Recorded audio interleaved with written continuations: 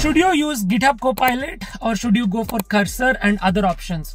So I have used uh, both of them quite a bit and I feel that still uh, GitHub Copilot is the better option to go because GitHub Copilot you can also update the instructions that you need to and modify the usage of it as per your requirement.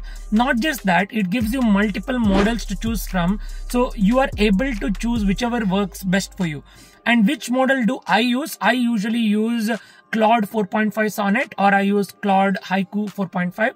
So either of these models for most of my uh, coding exercises that I do. And I prefer to do the debugging by myself and I usually don't debug using GitHub Copilot. I do sometimes where I feel it's a very small bug and it's very obvious, something like a CSS bug or something like that. Yes, I use it. But something that is more complicated and uh, something that is logic oriented, that is something I uh, would not risk GitHub Copilot to take care of. I usually just code it myself.